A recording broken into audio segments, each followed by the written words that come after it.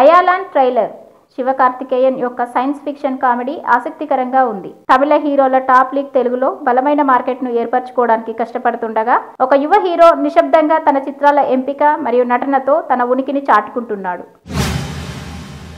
ఎన్టీఆర్ ప్రశాంత్ నీళ్ళ project April రెండు వేల ఇరవై నాలుగులో సెట్స్ పైకి వెళ్ళనుంది ఎన్టీఆర్ మరోసారి వార్తల్లో నిలిచారు. కేజీఎఫ్ మరియు కేజీఎఫ్ టూ వంటి బ్లాక్ బాస్టర్లను అందించిన ప్రశాంత్ నీల్ మరియు ఎన్టీఆర్ ఎంతగానో ఎదురు చూస్తున్న ప్రాజెక్ట్. నిన్న అతని కొత్త చిత్రం దేవర నిర్మాతలు. ఈ చిత్రం రెండు భాగాలుగా విడుదల కానుందని మరియు మొదటి భాగం ఏప్రిల్ ఐదు రెండు వేల ఇరవై నాలుగున విడుదలవుతుందని అభిమానులను సంతోషపరిచారు.